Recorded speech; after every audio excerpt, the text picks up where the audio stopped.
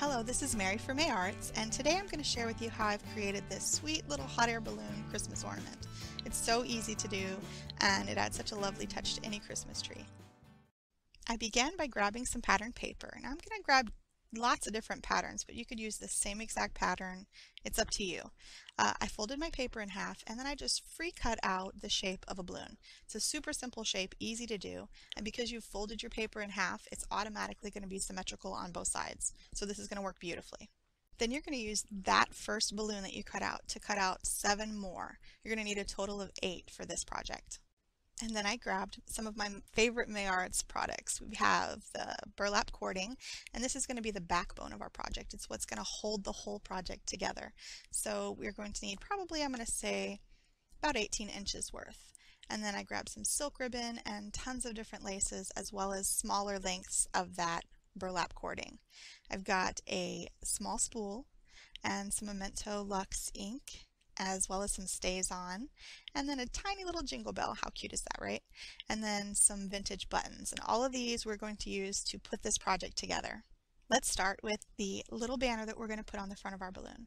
I have some of this canvas. It's plain, it's an ivory canvas ribbon, and it's a little thick for my particular alpha stamps that I have, so easy fix. We're just going to trim down each of the sides and give it a fun French look.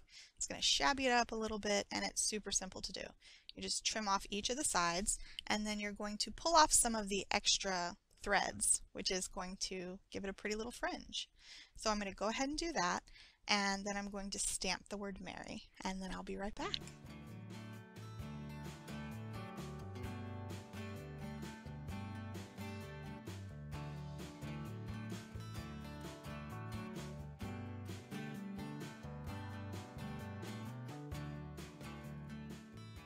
And now our banner says Mary, and I absolutely love using the word Mary for Christmas time because I'm Mary, and people tell you have a Merry Christmas, and I always have a Merry Christmas.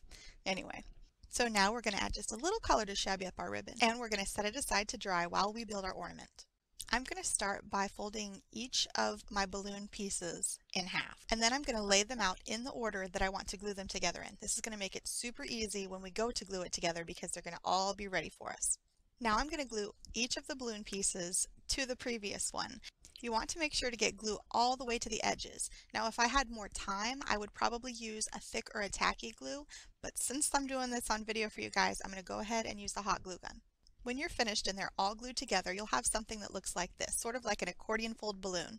You may be noticing the strings. I did add a little bit of stitching to my balloon pieces before I glued them together, just for a little bit of texture, but it's not necessary.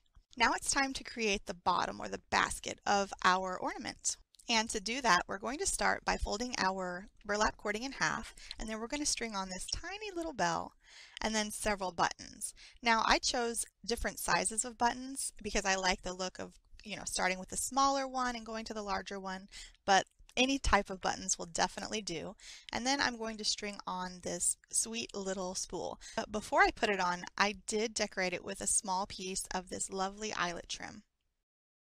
And all these layers together will give you the illusion of a tiny basket. Now it's finally time to put our balloon together. Leaving about an inch of cording at the bottom of your balloon, lay the string right down the center and add some adhesive. You do not want it shifting around. And then go ahead and close your balloon. I've added one more button to the top and tied a knot to keep it secure. And finally, we're going to add our ribbon. Simply tie those pieces of ribbon, trim, and lace that we saved from the beginning to the top and the bottom of your balloon. Don't forget to tie a knot or bow at the top of your cording so that you can hang your ornament. And to finish it off, we're just going to add our banner to the front. To make it look just a little bit more like a flagged banner, I've folded the edges on each side just like this and add just a touch of glue to hold it there. And now our balloon is finished and looking super shabby and ready to hang on our tree. Thanks so much for joining me today and I hope you have a very Merry Christmas. I know I will. I'll see you next time.